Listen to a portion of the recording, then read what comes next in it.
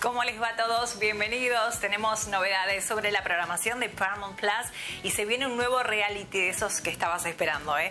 Además, todos los detalles de la visita de mi amigo Invencible que se viene en junio al escenario de Tribus Club de Arte.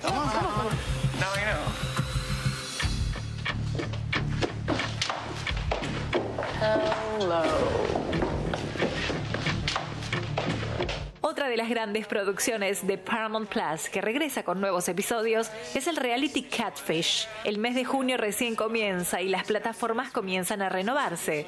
El streaming de Paramount Plus no es la excepción y una de las novedades será la nueva temporada de Catfish. Este programa busca poner en evidencia a aquella persona que crea perfiles personales falsos en redes sociales y pretende ser alguien diferente exteriormente, apelando a su verdadero yo, con fotos de otras personas e información biográfica falsa. Es como un acto de fe, un vale otro, detrás de otro. Llegó Mi amigo Invencible vuelve a Santa Fe. Será para realizar un recital en Tribus Club de Arte, presentando su noveno disco junto a todos sus clásicos. El grupo se presentará en nuestra ciudad el viernes 28 de junio, 21 horas.